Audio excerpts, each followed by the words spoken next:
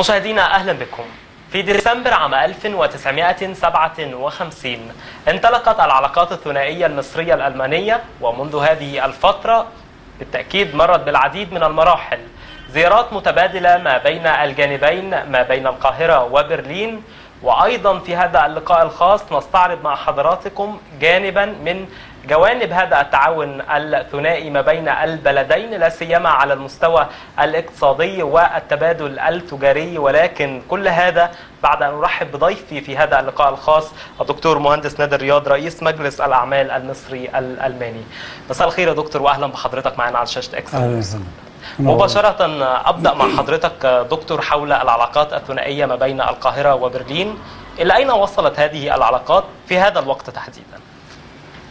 العلاقات المصرية الألمانية بتبدأ من خلفية قوية جدا وهي اهتمام الألبان شعبا وحكومة بالثقافة المصرية وتاريخ الإنسان على هذه الأرض. نعم. فهذا بيقودهم أنه دايما في آه، برامجهم التعليمية بيدرسهم الحضارة المصرية وكيف نشأت وفضلها على العالم من مفهوم الكتابة والموسيقى وتسجيل الأحداث وأركان الدولة المصرية القديمة ومقاومتها في وقت كانت المنطقة حولنا وفي أوروبا تزخر بالعشوائيات. ومفهوم الدولة بالمفهوم اللي نعرفه الآن بدأ وانتشر بدأ في مصر وانتشر منها للخارج. نعم. فمصر علاقتها مع ألمانيا بتبدأ من هذه المنصة الثرية الغنية. آه، يبقى ان إحنا نعرف العقلية الألمانية إيه القاسم المشترك فيها اللي بيجمع المناخ المزاجي للمواطن الألماني والمواطن والدولة الألمانية الأول. وأول تشابه في هذا مع توقعاتهم من مصر الألماني ينشأ باحث عن العمل ومحب للعمل ومح- ومحترم لمفهوم العمل بحيث العمل يشكل حياة. الشاب اليافع والفتاة اليافعة تترك أهلها وترحل عنهم بحثا عن عمل مم. وحيث يوجد العمل يوجد التوطن الجديد. والحياة الجديدة والزواج والزيجة والأبناء. فهناك هجرة من عش الآباء إلى عش جديد بيحكموا العمل. فالألمان في رؤيتهم لمصر بيروا في المرحلة دي الدولة الواعدة اللي لها إنجازات اللي بتسبق أفعالها أقوالها واللي بتحقق آه، أركان الدولة الحديثة الواحدة تلغ الأخرى طبقا للمفاهيم المستقرة عالميا نعم.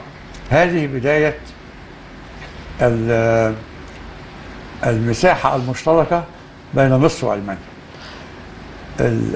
هذا المفهوم الجديد بينسلخ من الاهتمام الألماني بالثقافة المصرية حيث استثمروا منذ أكثر من 105 سنة في المدارس الألمانية اللي في مصر اللي بتقدم أرقى أنواع التعليم أحد أرقى أنواع التعليم عشان حتى لا نخصص.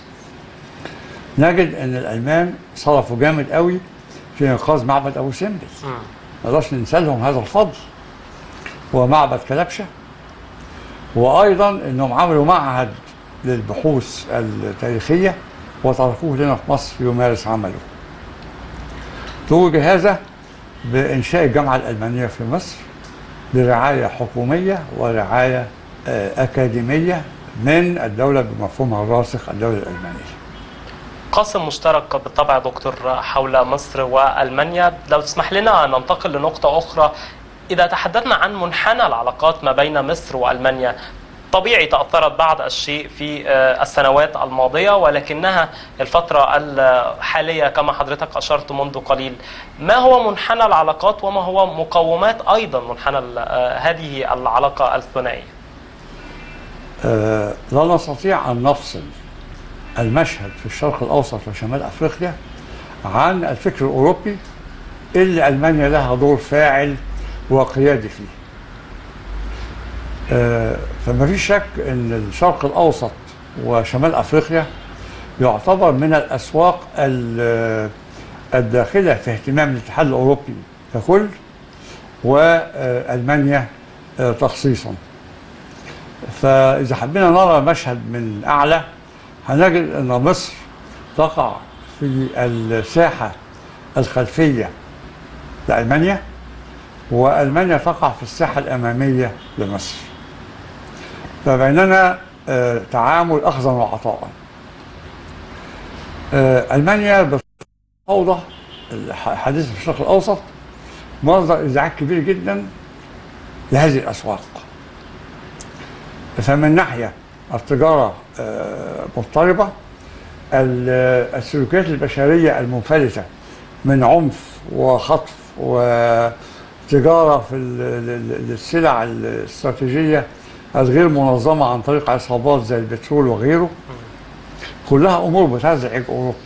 أوروبا عايزة الاستقرار الاستابيليتي العلاقات اللي يبنى عليها علاقات أفضل. فمن هنا بترى مصر أنها نقطة الثبات الراسخة من حيث الوزن في هذا الخضم من الفوضى.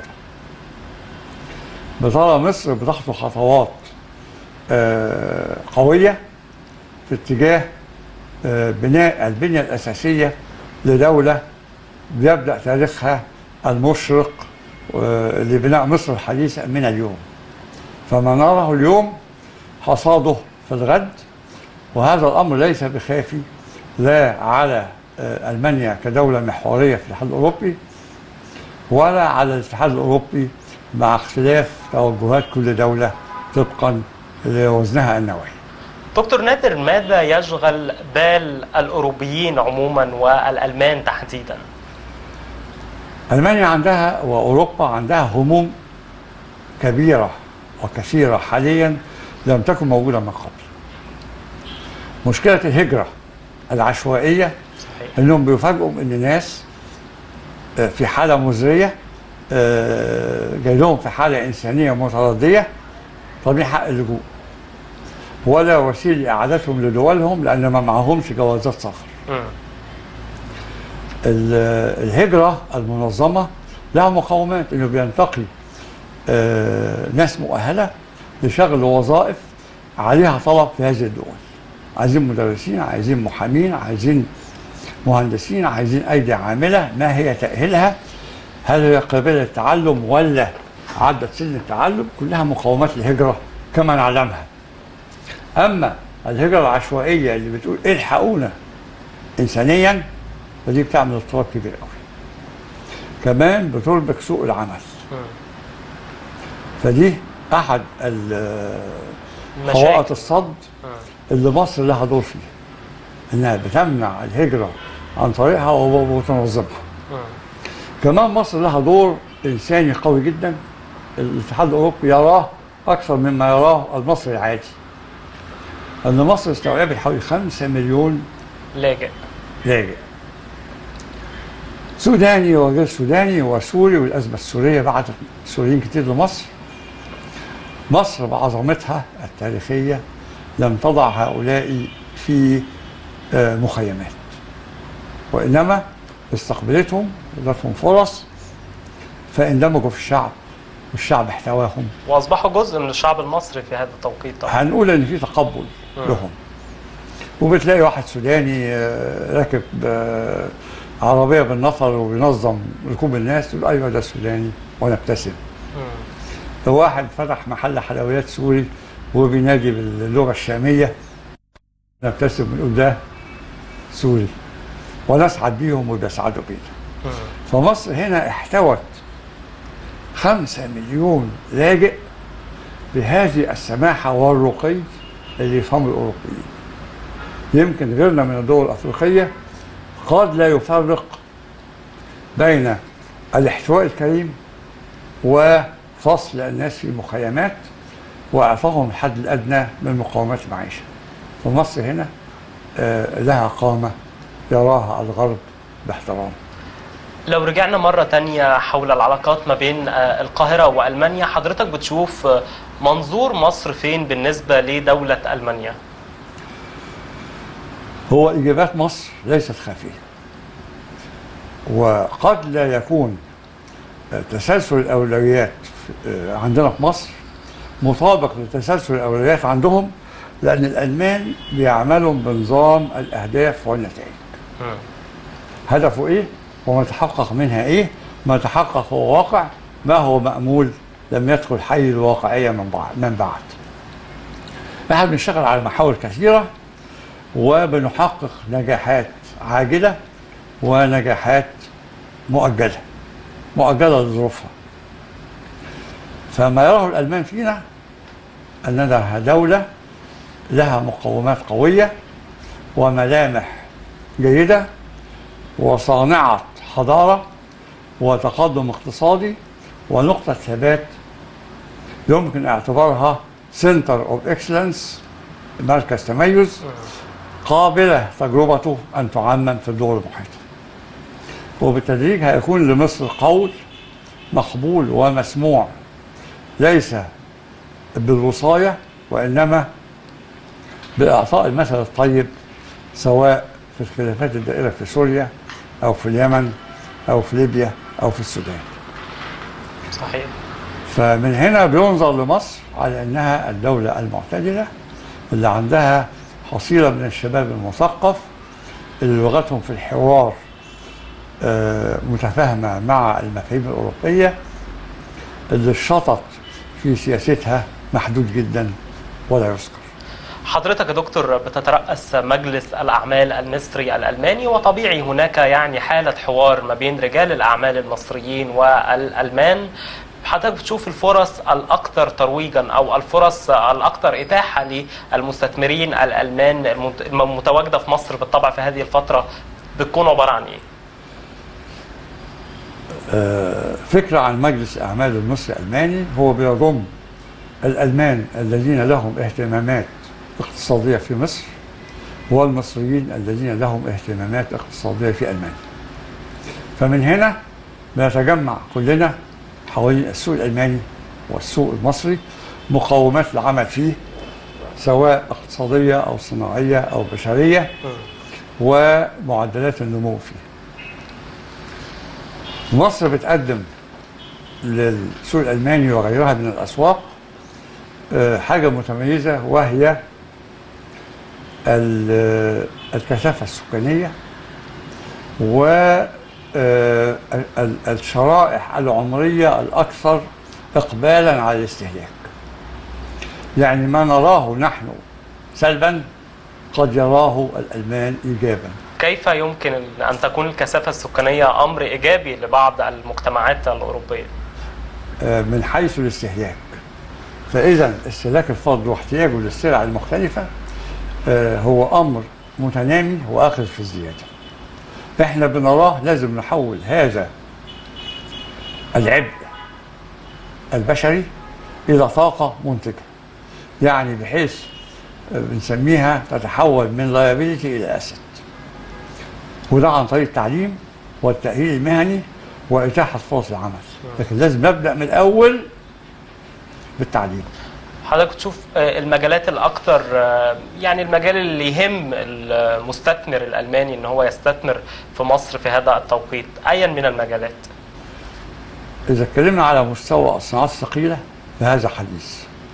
على مستوى الصناعات آه، آه، اللي منتجاتها استهلاكية تهم شرائح المجتمع فممكن يبقى فيها صناعات خفيفة وغذائية وغيرها فمن الصناعات الثقيلة اللي قد يهتم الألمان إن هم يستثمروا فيها سواء في محور قناة السويس باعتباره منطقة حرة عالمية ومعبر للملاحة الدولية بيئة وذهابا شمالا وجنوبا. فقد نجد أن بعض الصناعات الثقيلة في ألمانيا قد سحب عنها الضوء لوجود منافسة صينية وكورية آه، تفوقها آه، إمكانية فمثلا صناعة بناء السفن.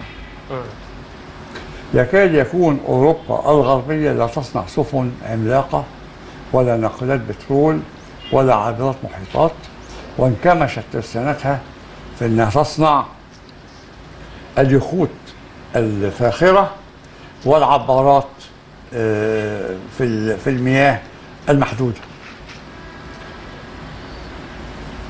فإذا رأينا اهتمامات الترسانات المتقدمة في ألمانيا في إنها تنتقل لمنطقه فيها مرور كثيف للسفن فتقدم خدمات الصيانة والإصلاح وأيضا بناء سفن الصيد لهذه المنطقة الغنية بالأسماك الفقيرة في المصايد.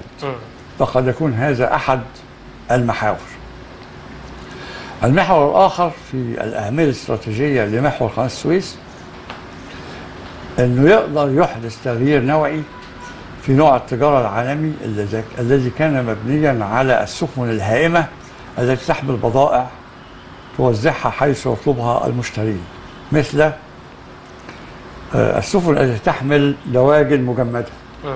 ولحوم مجمدة آه، بقول آه، بن زيوت وغيرها فالسفن بتبحر ورجال التسويق يعملون ويجي أوردر لقبطان السفينة نزل 10000 طن آه، بن في ال- آه، البناء الفلاني.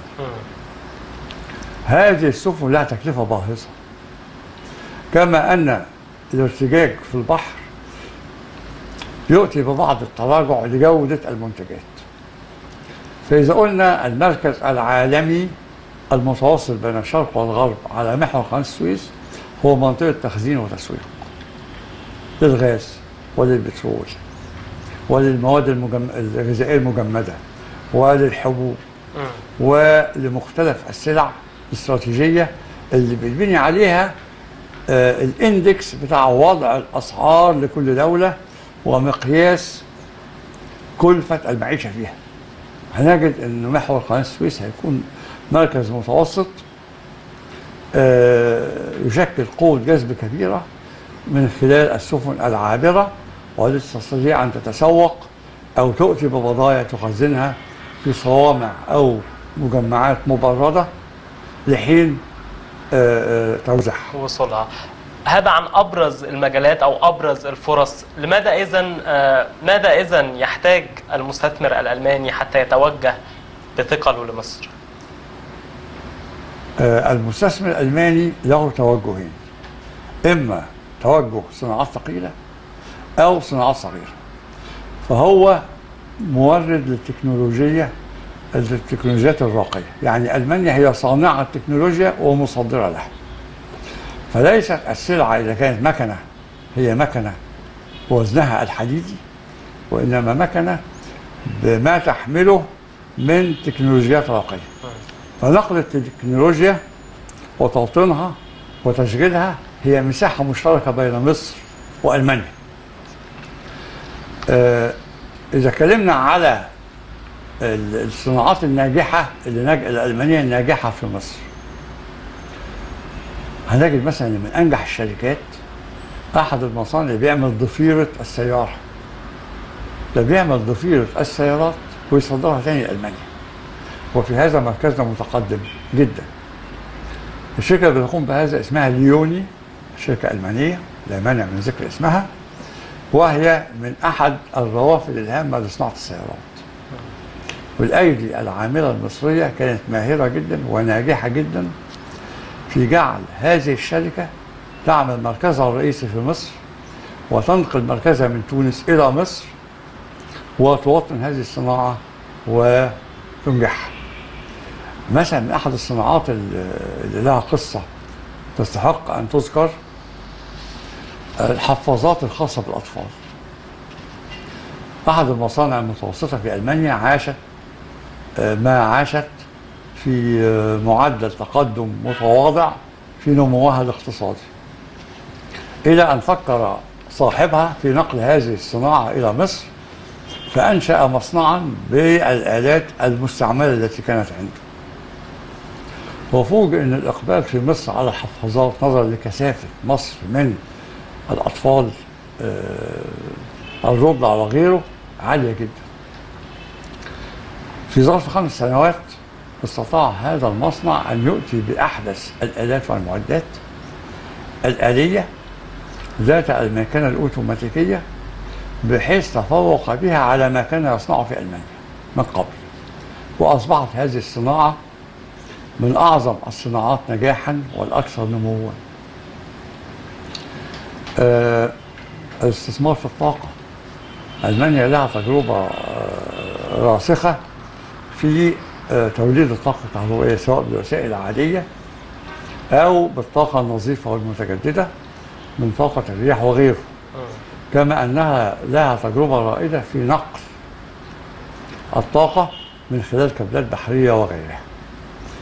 والتقارب الذي تم بين مصر والمانيا في مجال صناعة الطاقة من خلال العقد الذي تم آه، مع شركة سيمنز وألمانيا الاتحادية والتي مولت فيه البنوك الألمانية كان عبقري التوجه. إذ أن هذه الطاقة العملاقة سيتم سدادها من خلال بيع الكهرباء المولدة منها. فهو سداد آه، مضمون وتقارب بين الدولتين أثمر عن هذا النجاح الذي كان له مردوده الكبير. إن كنا نتحدث يا دكتور عن ربما بعض النقاط اللي بتلفت نظر الألمان للمصريين والكثافة السكانية كما حضرتك ذكرت أنها نقطة إيجابية. لا شك أن ألمانيا أيضا قوة صناعية. كيف يمكن أن نتبادل هذه النقطة تحديدا بالاستثمار في البشر؟ وهي أحد عوامل تنمية مصر 2030 الاستثمار في البشر.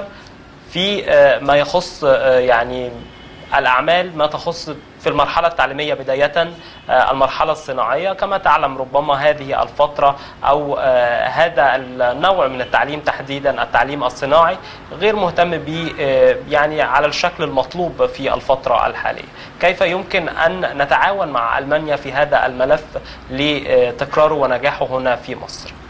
والله تجربة التدريب المشترك مبارك كول التي بدأت باتفاقية وقعها الرئيس آه، الأسبق آه، آه، حسني مبارك مع هيلموت كول. بدأت وبقيت في مرحلة متوسطة ولم تنطلق للطبقات العليا. إذ أنها أحدثت التدريب في حوالي 24 مهنة واهتمت بالكم وتوقفت عند شهادة أسطى وشهادة فني عالي فأخذت نصف البرنامج التأهيلي ولم تستكمله آه لو آه لو قدرنا بطريقة ما نحفز الألمان أن يستكملوا هذا البرنامج وأن تتولاه وزارة الصناعة وليست وزارة التربية والتعليم. هذا ليس انتقاص من التربية والتعليم وإنما عودة التخصص إلى أهله. فأنا أتوقع أن ده هيوفر لنا جيل من الفنيين. نحن في حاجة شديدة إليه. إذ أن المسافة بين المهندس والعامل المبتدئ تخلو من المهارات ال- المبنية على ترسيخ علمي آه، مبني على الممارسة والتأهيل العلمي. يعني بالظبط زي جيش كل آه، رجاله من الضباط ويخلو من الجنود. إحنا في هذه المرحلة صناعيا الآن. محتاجين عمال وفنيين ولا نجدهم كما أن التأهيل في موقع العمل فقط لا يؤتي بالعامل الماهر عن آه، خلفية علمية راسخة. وبيعرف يعمل العملية دي بس وغيرها لا. فاحنا ناقصين في هذا المجال. إن كان الدكتور طارق شوقي أيضا وزير التربية والتعليم بيتبنى فكر تعليمي جديد فيأمل طبعا عدد كبير من المصريين أن تؤخذ هذه النقطة في الاعتبار. عودة مرة أخرى يا دكتور عن مجلس الأعمال المصري الألماني. آه، حضرتك أطلعتنا على طبيعة آه، عمل هذا المجلس. هل هناك خطة أو استراتيجية مقبلة الفترة القادمة آه، لزيادة الاستثمار في مصر تحديدا وأيضا لزيادة التعاون الاقتصادي ما بين البلدين متمثلة طبعا في رجال الأعمال المصريين والألمان؟ آه، مجلس الأعمال المصري الألماني آه، منذ ثلاث سنوات آه، اختط نموذجا جديدا في إيصال رسالته إلى الفئات المهتمة بالاستثمار في مصر. آه، باللغة الإنجليزية والعربية شهرية آه، بتؤتي بحديث مع أحد الشخصيات المحورية في ألمانيا أو في مصر كل شهر. وزير الخارجية الألماني آه، رئيس اتحاد الصناعات الألماني آه، زاهي حواس وغيره. وفي كل عدد بتبرز مدينة مصرية ويقابلها مدينة آه، ألمانية بتبرزها بالأسلوب ال- ال- المتميز اللي يظهر جمال هذه المدينة وفضلها تاريخيا. آه، نختار ص- شخصيات صناعية ناجحة في مصر وننقل تجربتها. آه، فهذه ال- الدورية الشهرية بتسهل على رجال الأعمال اللي غير مهتمين بالشأن المصري في وقت ما أن نظرهم يتجه لهذه المنطقة المتميزة من الشرق الأوسط. أنا بتوجه بالشكر الجزيل لحضرتك على كل هذه المعلومات وأيضا على إتاحة الفرصة لإكسترا نيوز. شرفتنا دكتور. أنا بشكر حضرتك وبشكر آه، آه، مصر نيوز على هذه المبادرة. شكرا جزيلا. وأرجو أن أنا أكون أوضحت بيسر وسلاسة بعض الأمور. للمشاهدين الكرام. شكرا شرفتنا مرة أخرى على قناة إكسترا نيوز طبعا حضرتك تقصد بشكرك شكرا جزيلا. أما أنتم مشاهدينا الكرام شكرا جزيلا لطيب المتابعة. وكان معنا في هذا اللقاء الخاص دكتور مهندس نادر رياض رئيس مجلس الأعمال المصري الألماني. شكرا جزيلا لطيب المتابعة. ومن القاهرة تحية لكم أينما كنتم ودمتم في أمان الله.